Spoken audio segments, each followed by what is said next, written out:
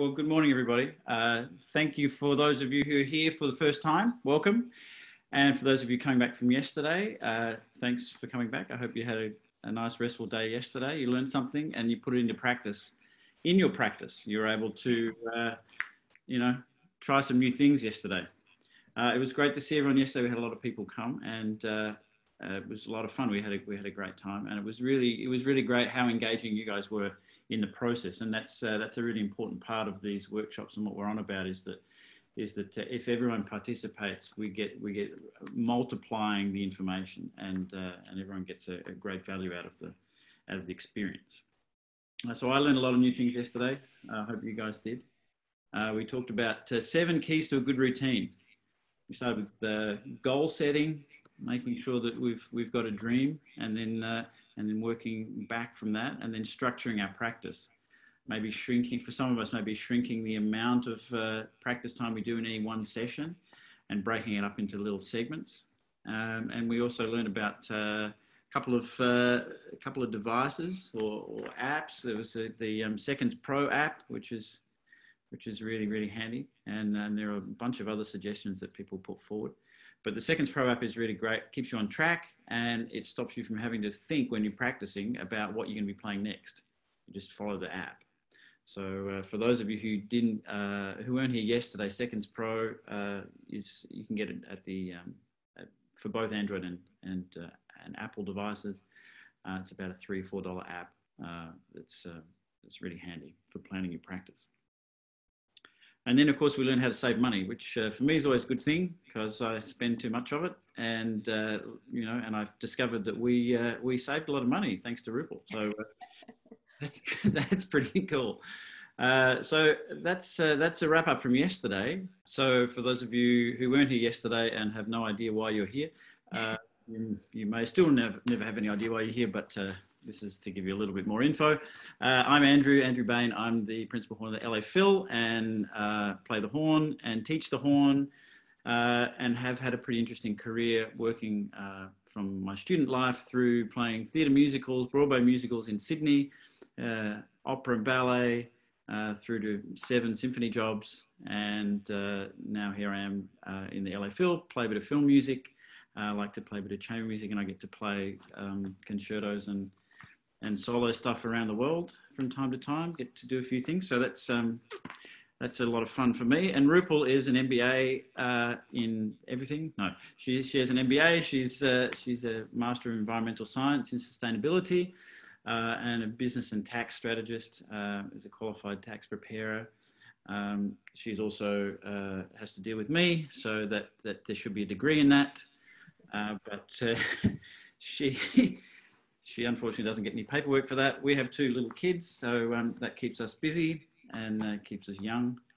And, yeah, and um, invested musician, for those of you who maybe haven't been to all of Andrew's um, warm ups and just getting to know us, this is kind of our uh, brainchild, our third child, and something we've been developing for a long time, really trying to pull the two sides of these coins together and integrate it. We've learned so much along the way through, you know, within Andrew's career and then for me on my business side. And we've really worked to come up with the blueprint of how we think, um, you know, one can be successful and not just on the career and the professional side, but also on all the admin and the tax and the finance and the messy side.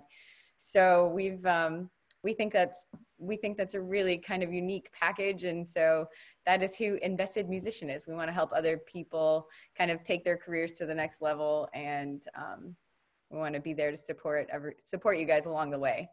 So that's what we're all about why we're doing this workshop. So the overview so this is just the, the outline. So uh, yesterday we talked about uh, practice planning uh, organizing our practice, a bit of goal setting stuff. Obviously, there's a lot more to that section than, than we could cover yesterday. Um, but, uh, but hopefully that gave you a good start into, into you know, the thinking about how you can plan your practice better and set your goals. And Rupal talked about financial planning. Obviously, there's, I mean, there's a huge area for that. But we got some amazing. You guys had some great suggestions about what you, where you can make savings, where you can make cuts. We learned about the earns system. Uh, today we're going to be talking about building a bridge from technique to musical mastery. So um, we'll get back, we'll get into that in a minute. And Rupal's going to be talking about tax stuff uh, how you you know what what are the deductions you can you can make that maybe you don't realize, and what what actual tax uh, you know situation are you in, and how you can how you can maybe rethink about um, about uh, how you're approaching uh, paying or reducing your taxes. And then on Friday, tomorrow, we get into the mental side of things. Um, I'm going to talk to you guys about uh, what how, my mental approach to to uh, preparing preparing for concerts, uh, how I deal with the stress of concerts, how how we um, you know how how I cope when I'm not feeling confident, how I how I become more confident, how um, I learn how how I've learned how to recover when I make mistakes in concerts uh, and rehearsals, how I use rehearsal period to um, to, to make sure that my performance is at the highest level when I'm under the most amount of stress.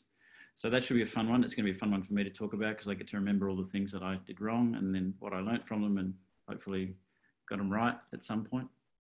And then uh, Rupal and I are going to talk about investing in yourselves, um, how we can take that further and how we can how we can help you to um, you know, invest in your in your uh, musical life and how that will you know circle back and and hopefully um, pay back on the other end so that it's it, it works as a circle do you have anything yeah and on that last note um, we're really going to touch on the fact that the industry is uncertain right now and how you can do that things you can do now even with you know everything going on around us that will still drive you forward and we have a lot of experience in in um, uncertain times in our in our lives and so we're going to share with you kind of what we our tips on that. So we're excited. we hope you're going to join us as well. Join us as well tomorrow. Yeah, and so um, the, okay. these three days will, will give you a taste of, of you know what, what we're on about and, and some of the ideas that you might want to extend extend further. For those of you who have been coming to the warm up classes on Monday morning, two things. One, I am doing the recap, so don't panic. It is in the works. It will be up today. Um, and and uh, yeah, I'm sorry, yesterday was a busy day, so I didn't get a chance to uh, chance to do it, but it will be done. So uh, don't panic. If you have any questions about what's going on in the warm up classes, let us know. Uh, that will still continue. That's still on Mondays at eight o'clock in the morning, LA time. Uh, so if you're keen in Australia, it's one in the morning. Good luck with that. Uh, but other places, it's a little bit more of a uh, you know palatable time but uh, but th- this this workshop leads us in leads us into into uh, what we've mentioned in the white classes where we're developing a, a, larger program for people who would, who would be interested. It's not going to be for everybody, but uh, the the goal of the program is uh, is as I said eight weeks, and it's uh, and it's a very uh, individualized program that that is designed to bring your playing to another level, and and to and to really achieve you know what you want to achieve from your instrument. Obviously the horn segment of it, it will be with me. There'll be individual lessons. Uh, we'll be working on, uh, you know, weekly group sessions, actually multiple weekly group sessions. Um, working with the technology that we have uh, with the internet, working on a lot of recording and analysis and feedback uh, on, a, on a regular weekly basis. Uh, and then we have a couple of fun projects. We'll have a bunch of guests that will be coming in. Uh, and we'll also be discussing a lot of the stuff, expanding on a lot of the stuff we've been talking about in this uh, workshop. So working with goal setting and practice planning, mental training, audition preparation is obviously a big one for a lot of people. Um, we have, uh, you know, uh, that's quite an expansive part of the course uh, to understand how to best get, you know, how to get the best out of yourself for auditions and how best to prepare. There's a very clear uh, path that I have. Having won seven of them, I feel as though I have some level of qualification to talk about that. Um, and then of course career coaching where you are in your career at the moment where you want to go and and we can we can work with you side by side to to achieve those those goals. And then of course in in uh, in the finance area uh, you know we want we're wanting to make sure that we, we're creating an environment for you to feel supported uh, you know in whichever direction you want to go. So um, we all need money and we all need to save money. So uh, there's an area there of course that Rupal will be working uh, hand in hand with you for working out how you can planning for how you can generate more income from the situation you're currently in, uh, strategic tax planning uh, for your future, and then um, and then how to market yourself and how to how to get yourself out there and how to interact with your colleagues in a way that is is going to be very productive, and how to manage your day to day. This is something we're really excited about, but like Andrew said, we want it we want it to be kind of um, built by the community as and well Um, I just want to say there's a question. Juliet asked a question: Is it just for horn players? Absolutely not. Uh, obviously, there's one of the one of the main segments is going to be related to horn playing. If if you want to have an um, individual lesson with me uh, or lessons with me and work with me on a weekly basis multiple times, uh, and you're not a horn player, that's you're absolutely welcome to do that. But the areas that we we figure are, are going to be more for for every musician are certainly uh, the areas of the mental training, goal setting, practice planning, uh, audition preparation, performance preparation, performance planning, uh, and career coaching and then also the financial stuff. That's obviously going to be relevant to every musician, and uh, and we want to provide that for everybody. So obviously, you know, if you're interested in being involved in the in the program, we can certainly work with you to to uh, to set a program that's going to be really beneficial for you. If you're even if you're a viola player, which everyone knows uh, uh is my favorite instrument. No, it's I, I love all instruments. Viola is a beautiful instrument, actually. Luckily, in the LA Phil, we've got one of we've got one of the best viola sections in the universe. It's amazing. Yeah.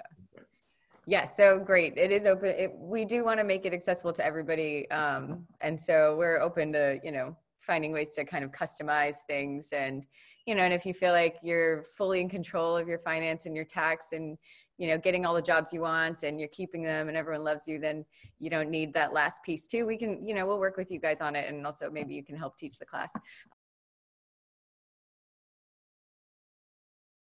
Building the bridge. So uh, we, we mentioned yesterday uh, in the session uh, working with uh, the ideas of, of technique or physical musical and mental. So yesterday uh, was obviously our technique day um, and our physical day so, so the idea, the idea being that you know we're setting up our practice plan around the majority of our practice, probably about two thirds of our practice, actual physical practice, will be technique related. Um, and so that's that's addressing the technical elements of your playing. So, what are the technical elements of your playing? Please jump in if I miss something, right? So you've got to be able to play high. This is mostly to do with horn playing or brass playing, but it can it's pretty much for every instrument, right? You've got to be able to play high, you've got to be able to play low loud, soft, flexibly, with articulation and a variety of articulation. With coordination, so being able to coordinate your fingers and your tongue and get over registers. Be able to play large intervals, small intervals, play various lengths of notes, register shifts and dynamic shifts and dynamic changes. Now that pretty much covers most things. As horn player, you need to be able to play lip trills and stuff like that, right? Double tonguing, various different types. But but this is this is one of the areas that we need to really address in our, in our playing that not really is often related to musical. We want to, we want to link it to music, but but basically, if we can't do those uh, those components on the instrument, it's going to be very difficult for us to play musically. So what we want to be doing is we start with a very basic the, these very basic building blocks, and we want to be able to expand them and be able to spend time to to expand those elements in a way that's going to be productive and efficient and is going to build the quality, is not going to place too much strain on that quality too soon. So what I see is in, in a lot of undergraduate students, and I did this as a student, definitely as a high school student, and definitely as an undergraduate student, I felt that um, the harder the studies that I played and the harder the pieces I played, the better I would get. It would be a default situation. If I played Strauss 2 when I was 16, I would automate, you know, and that would make everything else easier. Well, to a certain extent, it does, but the techniques that I was using in order to get around Strauss 2 was something that made my life really, really difficult when I was playing Mahler 5 in my 20s. Because I would use all these shortcuts to be able to get around it. I wasn't actually developing the best basic fundamental technique. So yeah, it's it's important to for me in my in my de development of playing to start with a very very clear idea of what the basis of my fundamentals are, and then gradually expand that. So I don't want to build it too fast so that I can't focus on the elements that I'm wanting to, to make sure are there. So I want to build a very stable base. So I want to start with exercises that are going, to gradually extend the elements that I'm working on and then progress them into studies. So there are going to be a variety of studies. They're going to be legato studies. They're going to be technique studies. As horn players, we play a lot of Kopprasch. So Kopprasch is, is, a, is basically, a, fundamentally starts as a pretty technically based study book and uh, and is really good for building these areas of of basic fundamental technique. So it's very helpful. but it doesn't particularly help us to be incredibly musical. It's not, it's not forcing us to expand our musicality. They can be played very musically. And, and one of the things that I'm intending to do the next couple of months is actually record all of the Kopprasch, well, at least the first book and the second book is a bit hard. But uh, the first to show, to, to, to illustrate actually that it's not actually, the, the goal is not actually to play purely technically, but is actually to, to expand the technique and, and be as musical as you can in a situation that's not particularly inherently musical. But there are plenty of other studies that actually lead us towards the other the other side, which is the music side, our next our next phase, uh, that, that are going to really help that musicality. So there's there's um, trombone players use this a lot, the Rochut or the Bordogni books. Uh, Concone, I use them a lot for my students, and for me, Concone is a is a trumpet study, but based on these singing etudes. And this is really, really good to, to allow us, our technique to stay intact, and not place too much pressure on the technique, but exp expand our musicality. So this is, this is uh, something that, that I talk about quite a lot with my students, that, that spending time to establish your, your basic fundamentals and then gradually expand them is a really important thing. We don't need to put too much strain on them immediately. We want to be creating great habits and building the habits as, as sustainably and as simply as possible. So that when you're under pressure, whatever happens under pressure, you're going to go back to your habits. And your habits, if they're good, you're going to have a good product. And if they're shaky, they're going to be a bit hit and miss. So we've all been through this phase, I'm sure, uh, particularly the horn players, where some one day you pick up the horn and everything works and you sound great and you feel great and you think I've solved it. I'm the greatest horn player in the world. Uh, that's it. We've we've opened the door to great success. Bring on the Berlin Philharmonic. And the next day you wake up and you're like, I can't get a sound and nothing speaks and my articulation's terrible and I don't know what I'm doing. And we've all been there. I've, I've certainly been there. And it motivated me to think about like, why does that happen? And why it happens is because I, I wasn't actually starting with, with what is the process that I want to establish to produce world-class sound. I was starting with, I want to sound good. Now, the reality is when every day you wake up, you feel different. Your face feels different. Your body feels different. Your mind feels different.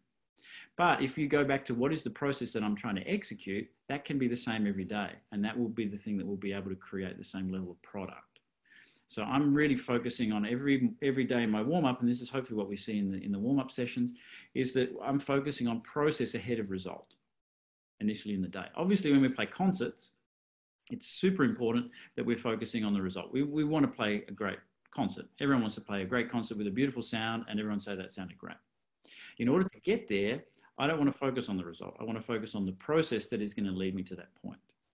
So, so it's difficult because from a young age as a, as a brass player, we're always told you have to play with a beautiful sound and you have to get the right notes, right? Who hasn't been told that? We've all been told that. And, and so this is, this is an important thing in our practice. Now, obviously we want to have that in performance. We want to have that when we're under pressure.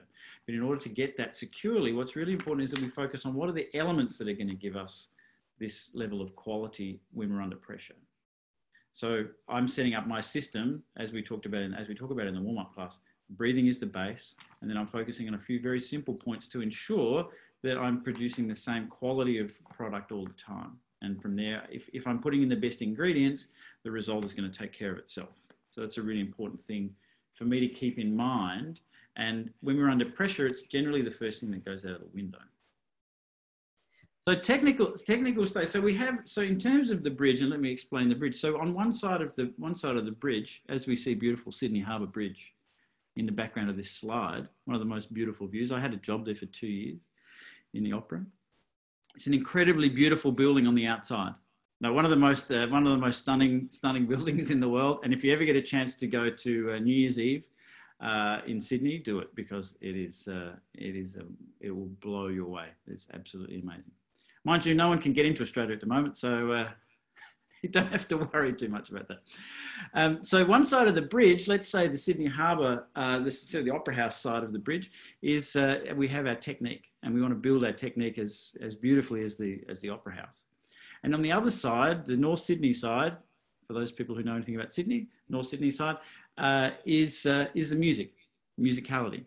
And the, the, bridge itself is our use of the techniques, uh, sorry, the, tech, the technical uh, exercises and the studies that we want to build that connection. So on, on the, on the left-hand side of the bridge, we've got more technique-based studies We're working on just fundamental things, simple exercises that are going to grow that technique. And as we get to the other side of the bridge, we're focusing on more musical based studies, more realistic studies that are going to relate to the music. So, so it's, it's important for, this is from a technical point of view, from a horn playing point of view, or from a, any instrument playing point of view, that this is the way that we, this is the way that I think about approaching this development from technical through to musical. Now, what's important to, to um, remember is when we've got a technique that's, that's very solid and, and stable, it's, it's super important that we, that we think about building this bridge backwards and that we start from a musical um, perspective. So when we have the techniques that we need, it's super important in music that we have, we have two things running parallel, that we have the musical side and we have the technique side. The musical side can be developed and needs to be developed independent of our technique.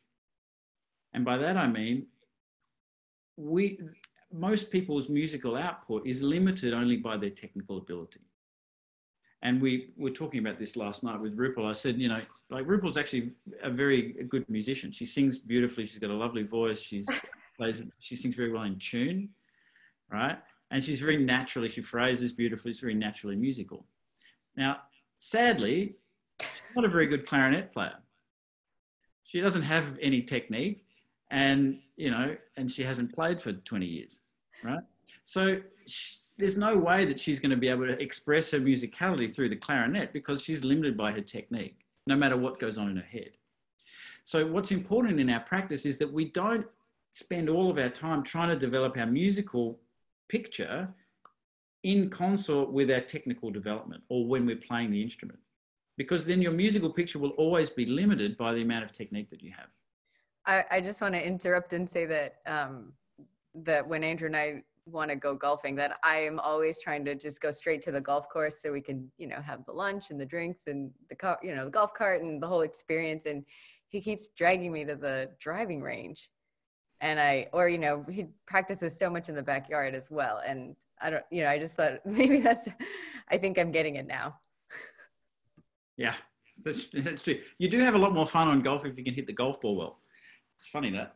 And it's, it's an interesting concept.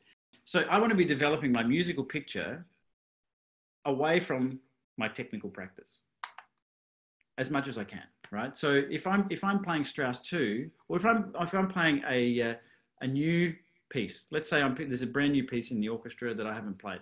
It's um, it's a tone poem by Strauss that I've that I've never played before what I, the first thing I want to be making sure that I'm doing is not picking up the horn and trying to practice it because I don't have I don't have a map, I don't have a, an image of what I want to follow, and I don't have anything to pull onto the horn. And also, I need to work figure out what are the technical things that I need to really work on in order to be able to play this piece. So I want to have a look at that from a technical standpoint, make sure that I've got all the all the techniques that I need to cover this piece. So I'm going to, going to look through the part, but I'm going to spend a lot of time listening to the piece, singing the piece, looking through the score to work out what are the musical things that I need to be understanding before I dive into actually attaching this to the horn. And it's the same thing that goes with audition preparation. There are so many people that they'll see in a job advertised and they say, okay, I'm going to uh, audition for the first horn job in the Berlin Philharmonic and they get the list and they have a look at the list and they start madly practicing excerpts six months out and we'll talk a lot about this in the in the in the program. We're going to spend a lot of time um, on audition preparation, but this just gives us an idea of where, you know what, what, where we're going.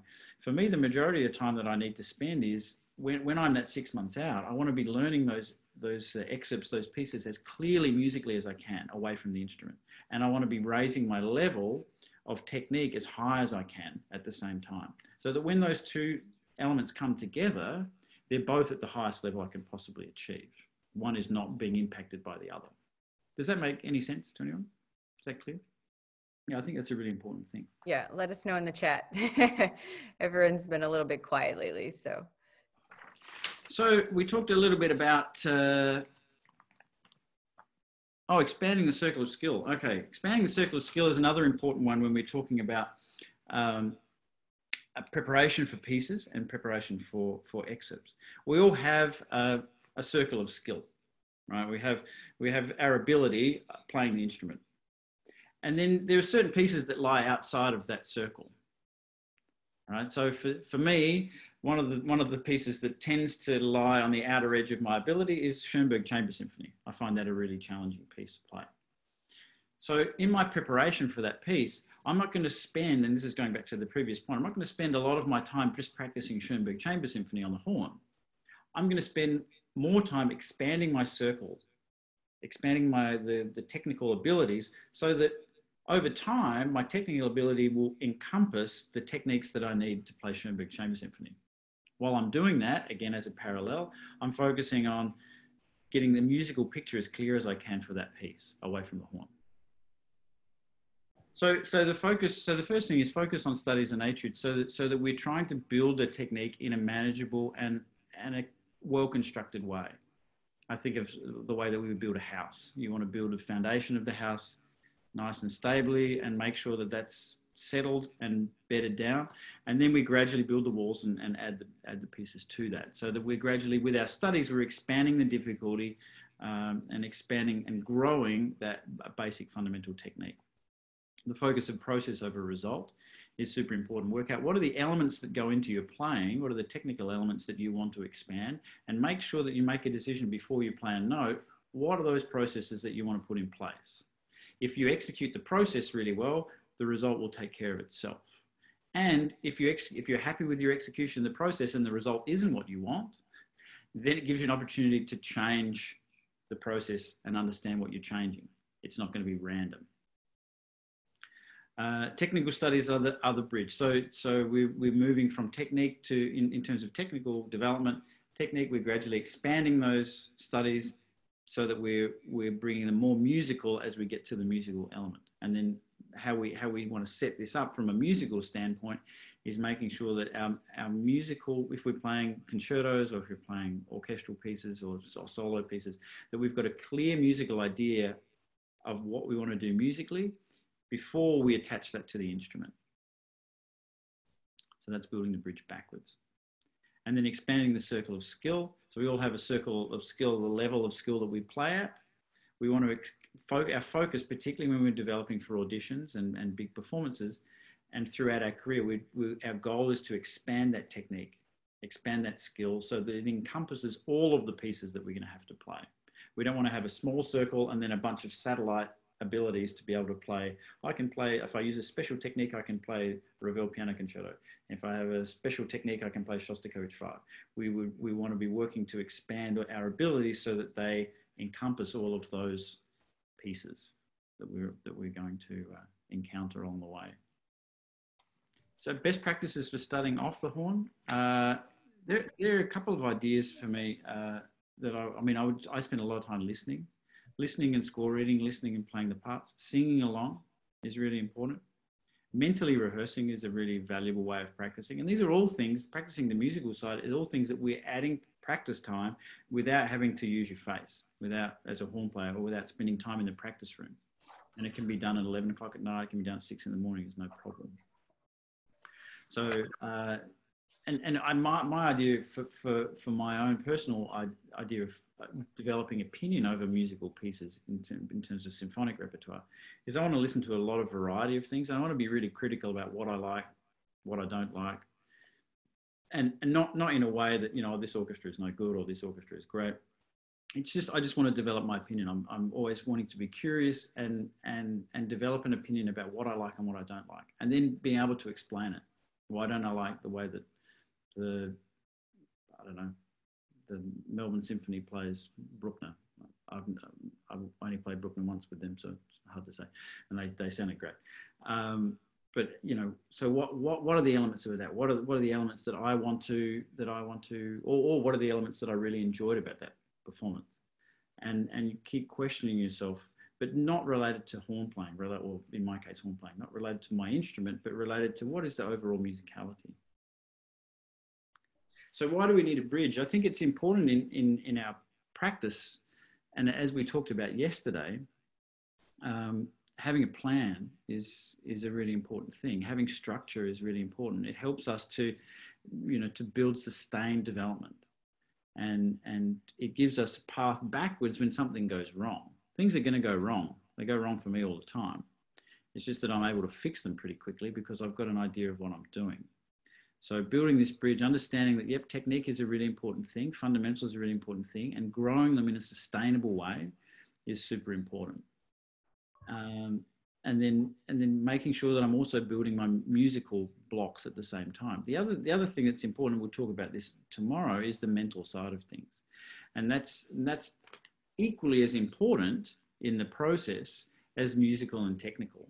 So that we have these three parallel streams that are running, that are that are uh, really super important that we practice. If we if we neglect, we would never dream of neglecting our technique practice, but if we neglected that, our horn playing will suffer. We're not going to be able to have as great a musical product. We, we often neglect the musical side. We just think, oh, I just play the notes and it's fine and I'll just sort of get around it. And we end up playing how we think we're playing, but we're not really aware because we're so embedded in, in or locked in to our, our playing of the instrument we're not really aware of what the musical output is. And, and our musical idea is, is clouded by our technical ability. But we, we generally do a pretty good job of, of understanding music, what we want to do. But if we take a great level of technique and a great level of musicality and put it into a pressurized situation and we don't have a mental plan and we haven't practiced mental things, funny things happen, as we all know, right? We get nervous when we play concerts, we get nervous. Who, who gets nervous in a concert? no, yes, of course we all get nervous. I think the only there only there's only one musician, and, and I may be wrong, but there's only one musician that I've observed in my career who, who doesn't appear to get nervous, and that's Emmanuel Pahud um, he's a flute player in the Berlin Phil, and it's like watching him before a concert is hilarious because it's just like he, he's looks like he's just about to go to lunch or dinner or you know go to a party. Like he's he's so relaxed, it's amazing. But most of us, slash almost all of us, uh, have to deal with some level of uh, of stress and nervousness in concerts, and it's important to acknowledge. And developing a plan for that for mentally and what goes on inside of our heads all this stuff of like oh you're going to muck the next stuff up or jesus going to go right or you haven't prepared enough or you've prepared too much or my chops don't feel so good. All of this inner talk that goes on in our head when we're in concert that can be dealt with and it needs to be dealt with and it needs to be um, managed if you want to play at the level that you think that you think you should most people will perform at a lower level than what they're capable of doing under stress if they don't have a mental plan. And my mental plan that, that I've worked out over the years enables me actually to energize my performance. And I actually play better in concerts than I do in rehearsal because it really helps me to focus and, and it keeps me on track. It doesn't mean that I play perfect. It's, it certainly doesn't mean that I play perfect, but it, it means that I play consistently at, at the level that's close to what I what I'm doing if I'm playing perfectly in the, in the practice room. And often it actually really gives me the energy to, to get through some really difficult stages, but it also helps me to stay, to stay focused and to recover from things uh, that may not be perfect in the concert. So I think that pretty much covers it. How to build links, five key ideas. What's that, Rupal?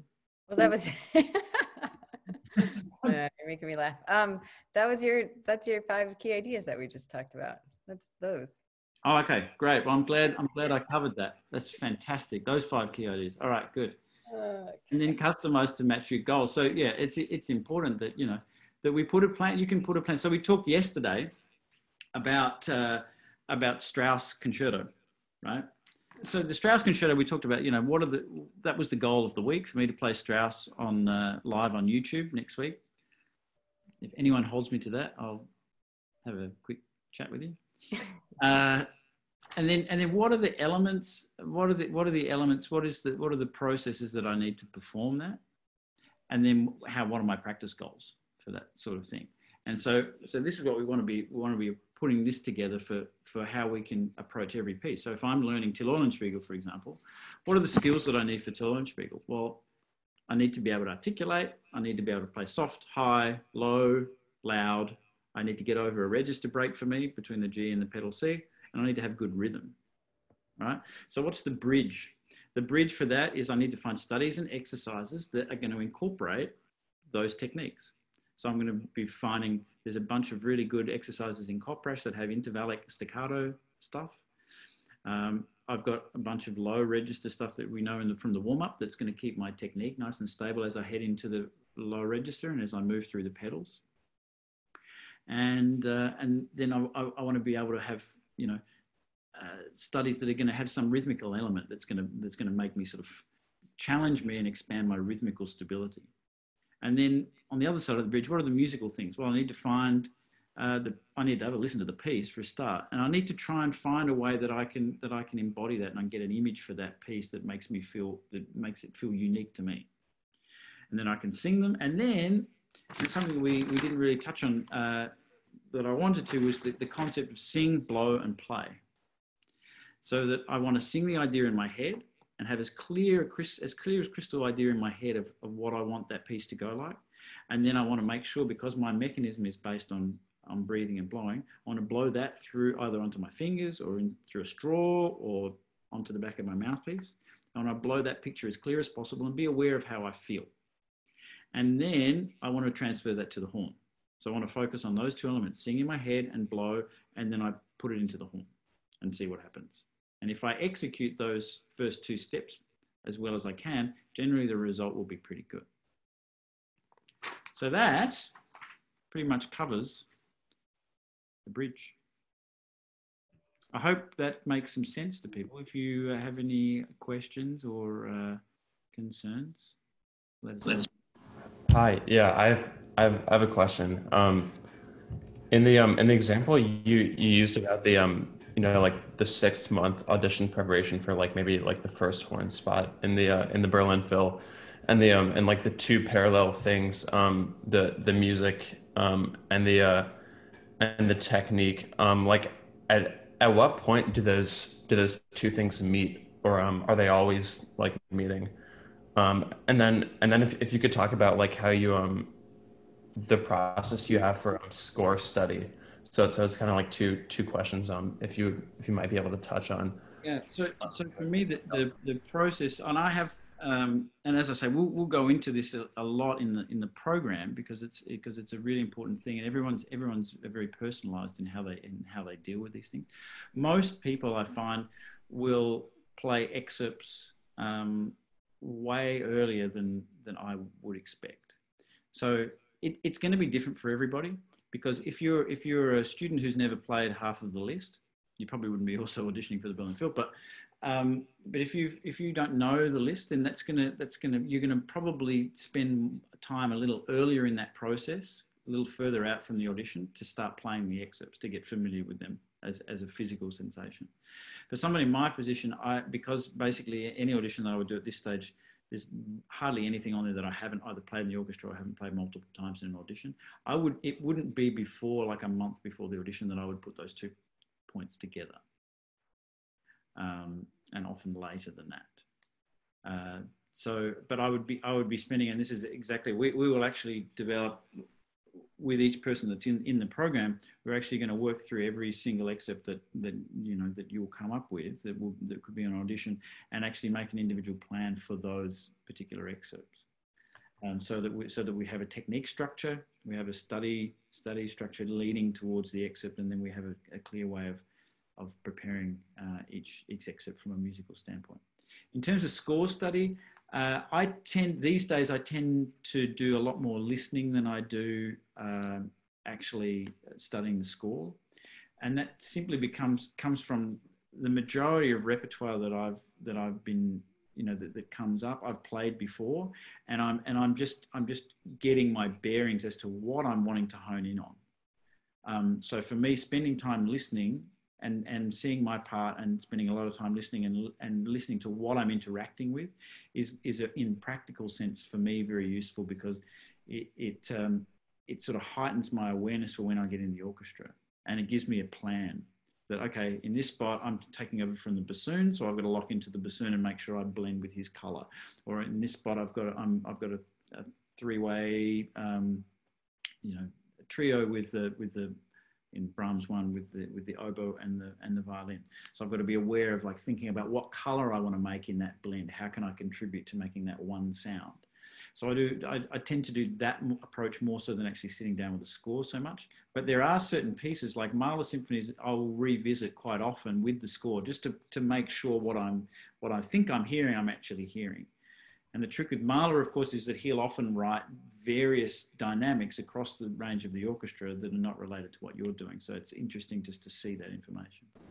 Yeah, thanks so much. Yeah, yeah, that's um, that's really helpful. Don't go just yet. Look at this big pile of money.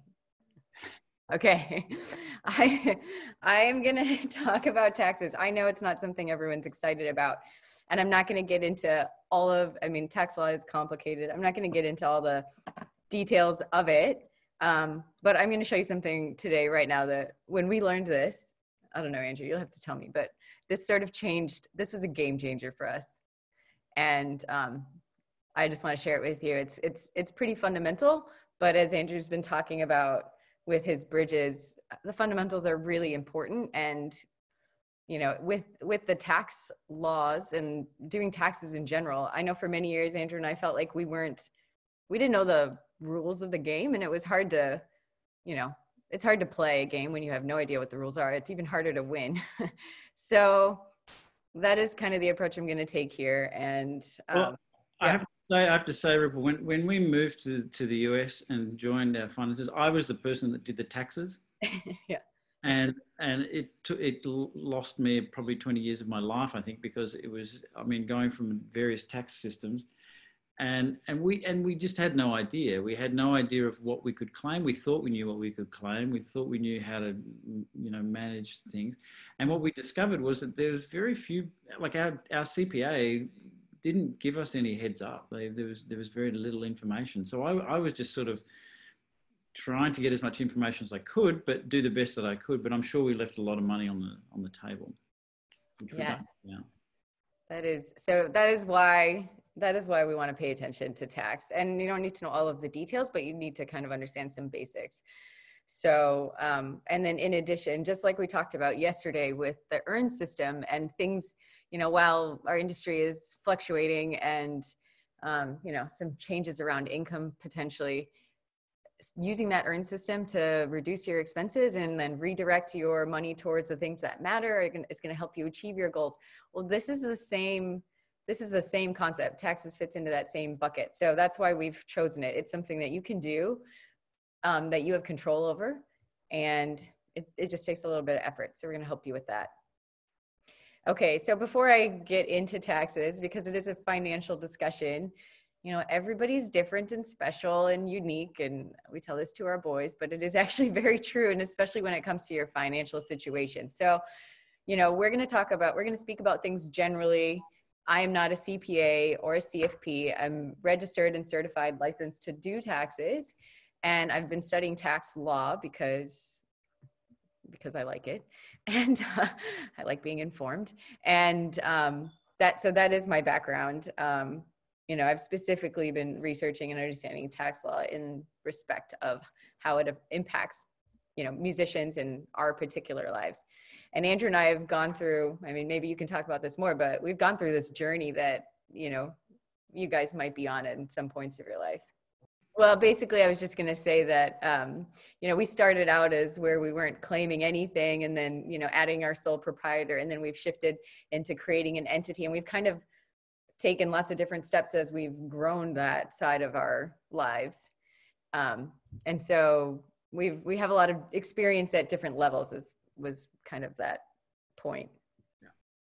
so you know this is called the music and money workshop. I showed this to people yesterday so i'll just breeze through it. But basically your musical career in your musical career as you're successful you start to earn money and that is you know something that we hope to get into our accounts and a portion of that we want to reinvest back into our career so that we can you know raise our earning potential we I do this in my career. We do, everyone does this in their career. You start out, you know, younger, you're earning less. And then as you get better and develop yourself and build your skill set, you're able to earn more. And so you're increasing that earning potential. Well, if you think about this as kind of a train route, your money is going to have to travel through some different stops before it gets to your account. And so this is, you know, this is the big picture. Yesterday we talked about spending. That's one of the stops where you end up with less in your account. Um, and today we're going to talk about taxes. It's one of the first things that happens to your money. It's one of the you know stops on this train route, and um, very important. So if we can if we can kind of understand these different stops and then like squeeze them and you know strategy figure out how to make them work in our favor, then ultimately that's going to leave more money for us in our bank account that we can then decide what to do with. And we talked about you know having those goals so you can redirect that money towards your goals. So that's why we're here. Um, I hope that I hope that always makes I hope that made sense. We're going to talk about more deductions, less taxes. So I'm going to focus this conversation on how we get to less taxes. So really simply put, guys, and this is this is just, you know, I know everyone has varying expertise around income and taxes. This is the fundamentals. So, you know, forgive me if this is um, basic, but I think it's just important to recognize. And I also want to just um, also, you know, I know there's some people who are international, but if you ever plan on doing it work in the US or if you have, you know, it's important to understand this so that you can make sure you're keeping more of the money that you do earn. All right, so income minus deductions is the amount of income that gets taxed, which is called your taxable income. Then we take, then the IRS takes that taxable income and then multiplies it by a tax rate. There's different ways they calculate that. And then that's the amount of tax that gets calculated. All right, so if you don't have deductions, then your total income is going to be your taxable income. So that's why it's important to have deductions. So this is the strategy that I, I want to communicate. More deductions, you lower your taxable income, and then ultimately you lower your tax, you lower your tax. I know a common question, you know, Andrew, we've had and over the years is well, what can you can, what can and can't you deduct? So if we think about the tax system as a game, I just I want to first let you know there's actually two games going on in the in the tax system with the IRS. And that means there's two sets of rules. So you need to kind of understand the difference here. And that's what I want to go through. There's one game for people who earn W 2 only. This was kind of me for most of my life. And then there's another game and another set of rules for people who earn W 2 plus or just completely outside of W 2 income. All right. So I just want to let that set in for a second. There's two games, guys. There's two sets of rules, two different ways deductions work, and you have to keep them separate. All right. So most Americans fall into this first category. You know, not you guys. well, some of you, but this was, you know, me my whole career for most most of my career. Earning W2 income, didn't have side money, and my options for for deductions were to take a standard deduction based on how I was filing the IRS would say you can have a lump sum deduction of, you know, whatever, 12 and a half thousand if you're single. Or I could itemize my deductions, but they were going to tell me exactly what I could itemize and there were limits. So short story, you can't you don't get to choose what you itemize what you deduct and it's limited by the IRS. So they're telling you what you can and can't deduct. All right, that's most people. Um, business owners, on the other hand, they receive income that is outside of a W 2. You guys are, many of you are familiar with this. So, all right, so I just want to be really clear there's two systems. So, there's on the, if you're a W 2 earner, most Americans, you can just deduct what I told you. You've got the standard numbers the IRS tells you. If you have income outside of your W 2, you are allowed to deduct your work related deductions and you get to decide what those are. But the catch is that those deductions are only going to offset the tax you owe on your non W 2 income. All right. So it's like you're going to keep them separate. If you have a W 2 and you had to buy, if you only have a W 2 and you had to buy an instrument to do that job, you don't get to deduct that. Okay. So if you only get to deduct your work related deductions if you have income outside of the W 2. So what we end up doing or what musicians end up doing, and Andrew and I have been doing this for many years, is we end up doing our personal deductions and we choose between the standard or the itemized. And that helps reduce our taxable income on our W-2 income. And then separately, we list all of our deductions that apply to the income that, you know, Andrew was earning from his outside orchestra jobs. And and then that was a separate equation. All right and the other piece that was really like really interesting for when we when we realized that we had these two systems was that the IRS considers anybody who earns income outside of a W2 a business owner. I don't know how many musicians consider themselves business owners, if you're a sole proprietor, for example, but the IRS thinks of you as one. And that is why they're giving you these extra deductions, which is really a huge benefit that most Americans, as we talked about, don't get to do. Deducting your instrument. Well, it depends on if you have if you have income outside of your W2, yes, you can deduct your instrument against that income. Recently changed it where now if you have a W2, this is the new law, you're not allowed to deduct your instrument against your W 2 income. So we remember we talked about how deductions reduce that taxable income. So you can't use your instrument against W 2 income. There's a ton we can get into, and my goal is to I'm going to show you some fundamentals, something you can do right now today.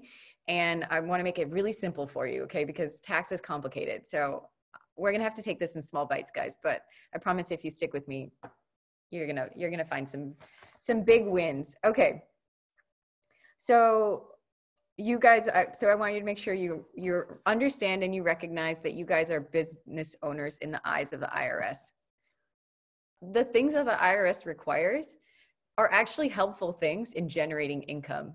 So don't look at it all like it's something that you know oh we have to do and we have to put this together. Um, actually it's it will help you kind of understand your financial side of what you are managing. And you know you are the you are the salesperson of your career. You are doing the marketing. You are doing the product. You're building that product. You you are running in a in, in a way a business. So um that's a mindset that andrew and i had to really kind of understand and adjust our our way of thinking um, and once we did that okay it, things became a little more clear. So those are the two gains. I'm going to focus on the outside W2 income that you may or may not receive. And I think a majority of us do receive that. And we're going to talk about the rules of that game. So the game is if you get more deductions, you can win because you're going to get lower taxable income and lower tax, right? We want to raise our deductions. So what are the rules? How do we make sure we're doing that within the confinements of the law? Because this, you guys, this is law. Um, so I think it's important that we make sure we, you know, we're following the law. So rule number one, the expenses have to be ordinary and necessary. You know, I read this. I don't think it's too much to ask. Um, that you need to make sure that the expenses that you needed to buy them. You didn't need, you know, you may not need a yacht to do your job. That doesn't count as ordinary necessary. But gas, yep. Instrument, music, food, yeah. Instrument maintenance, obviously. Did you guys know that the IRS can't define this for you? They are not, you know, sitting on the board of Amazon telling them what they should and shouldn't spend money on.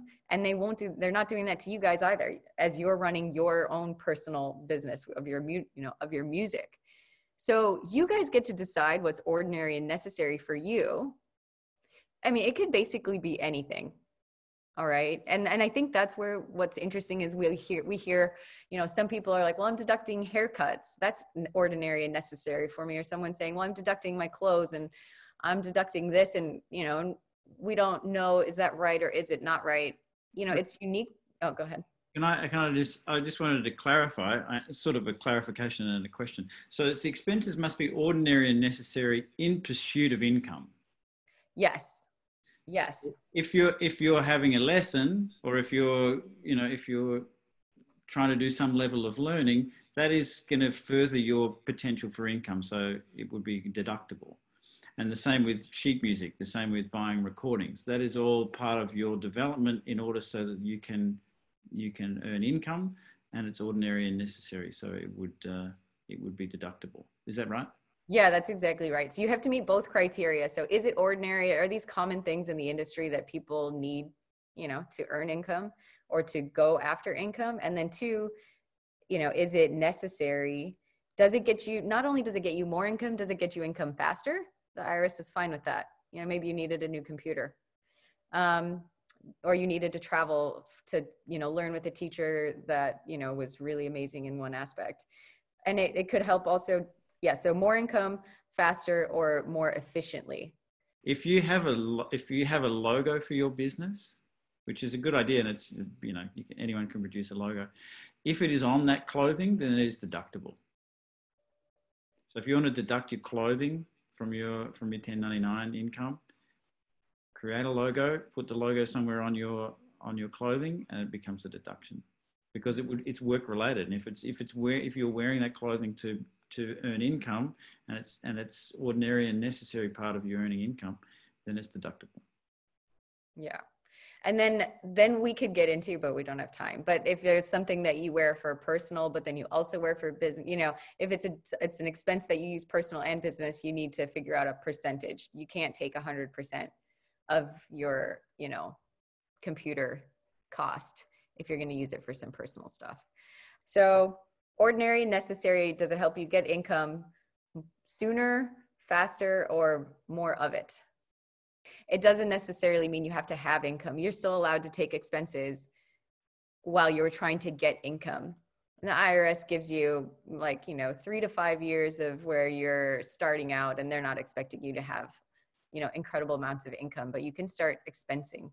So I think for students who are just starting out, you know, you should look at this as a potential strategy for setting up that piece. You are spending money trying to get that income. It's not every business starts off earning you know money right away.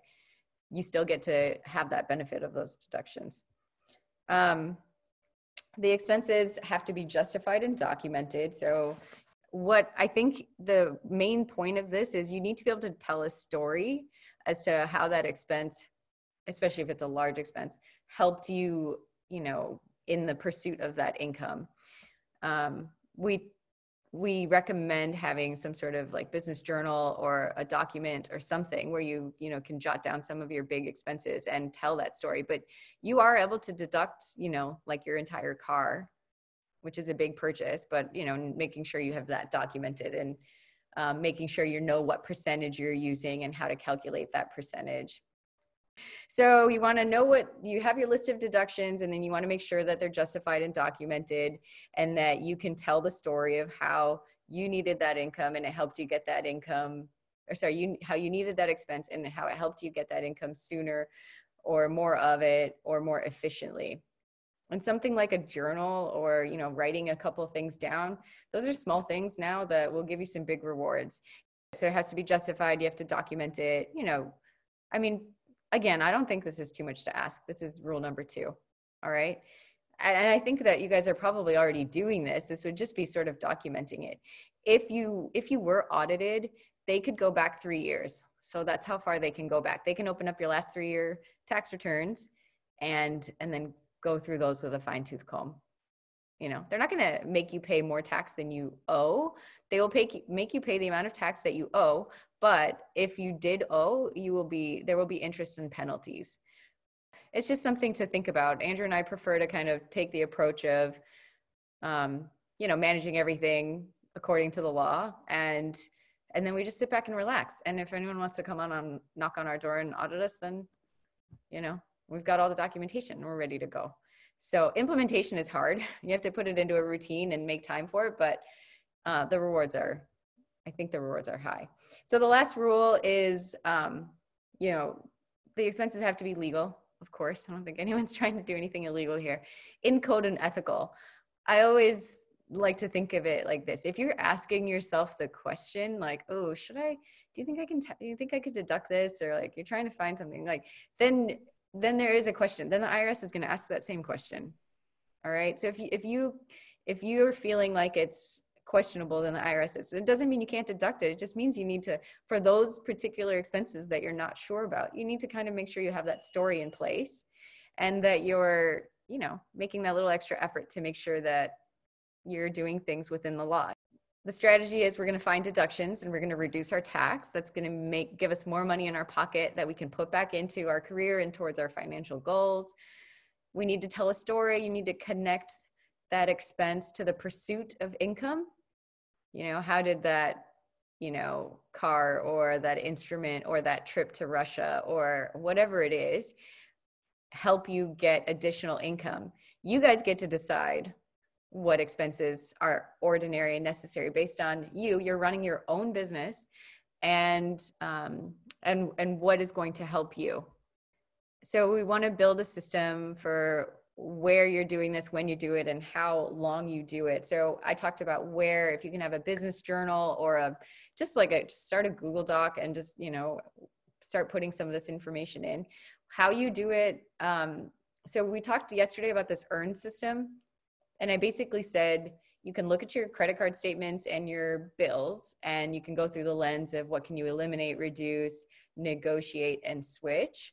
Well, tax is just another layer on that, but it, the acronym didn't work out as well. So we just left it on the side. But after you've reduced and really, you know, reduced your spending as much as possible, then you go through all of those expenses and you figure out which ones could be tax deductible, which are ordinary and necessary and helped you in the pursuit of income. So you want to go through and understand all of that. Um, and then I recommend you can just do this every three months. So just, this is just one other layer in your earns system, your routine. You're going to do it every three months. You're going to look at how you can reduce your expenses. And then uh, as well, you then circle the ones that are tax deductible and you guys will have a lot. You know, the criteria is not that, it's not that difficult. Ordinary, necessary, and then just make sure you can justify it. We want to be ethical. Everyone wants to be ethical you know we want to be good people we want to follow the rules. If it's if you're not sure and you're and it's questionable then you know think about how it might be a percentage of that uh, deduct that total cost. You know does that is that more appropriate? You know maybe it was only a percentage of that trip to colorado um whatever. And you know be reasonable and if if you have a question then the irs will also have a question about it. And um, we just want to we want to follow those rules. And and if you do then you shouldn't be fearful of an audit. You can relax. You're going to know what your finances are because if they audit you and they do find out that you owe uh, again i'm not trying to scare you but this is just this is just fact. If they do find out you owe then you're going to be stuck with a large bill and it's going to come out of nowhere and it's going to derail you know the, your other financial situation. So it's just not worth it you know, all you have to do is write some things down. And even your effort of taking your bank statement and circling that, if that's in your calendar and you've got, you know, your document of showing like how you came up with those deductions, like that, that's something, you know, you could put that in. That's something that the IRS agent would be able to take is, okay, this person's actually making an effort to understand what they can and can deduct so with all of that done, you just take a deep breath, everything's fine, you get your taxes done, you're not worried about an audit, and you know, life is good. And then you can focus back onto your music.